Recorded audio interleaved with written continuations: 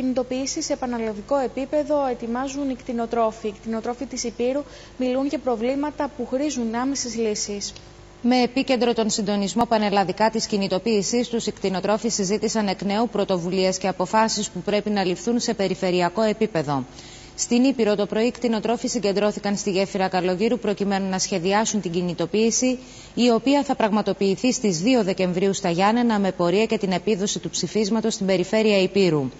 Όπως τόνισε το μέλος της Πανελλήνιας Συντονιστικής Επιτροπής και πρόεδρος των κτηνοτρόφων στο νομό της Πρέβεζας, Γεράσιμος Λιόλης, τα αιτήματα που αφορούν τον κλάδο χρήζουν άμεσης αντιμετώπισης ώστε να υπάρξει βιωσιμότητα της κτηνοτροφίας στη χώρα, ενώ κάλεσμα συμπαράστασης του αγώνα τους απίφθινε και στους αγρότες. Τα, τα προβλήματα των κτηνοτρόφων και των αγροτών ευρύτερα, περισσότερο των κτηνοτρόφων σε αυτή τη φάση έχουν οξυνθεί.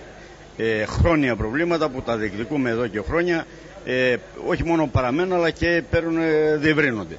Ε, σαν έτσι ε, η πανελλαδική συγκέντρωση που έγινε στη Θεσσαλονίκη πρόσφατα πήρε την απόφαση να γίνει πανελλαδικό συλλαλητήριο περιφερειακό στις 2 του μήνα ε, σε, σε όλες τις πρωτεύουσες των περιφερειών στην Ελλάδα, πανελλαδικό δηλαδή.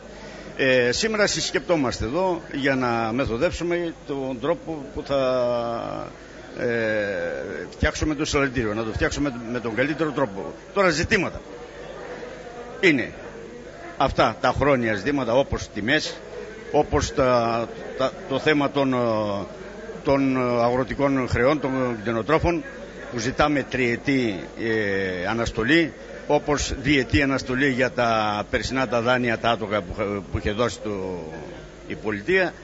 Ε,